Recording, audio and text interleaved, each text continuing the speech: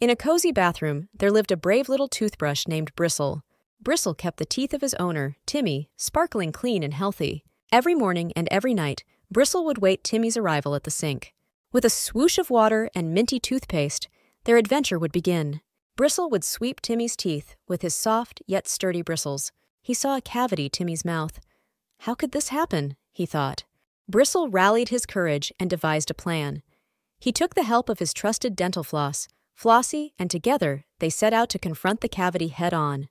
Dr. Smiles, declared Bristle and Flossie. You two are true heroes. Bristle and Flossie became inseparable allies in the fight against cavities and gum disease. They traveled far and wide, spreading smiles and promoting good dental hygiene. Timmy learned an important lesson to take care of his teeth.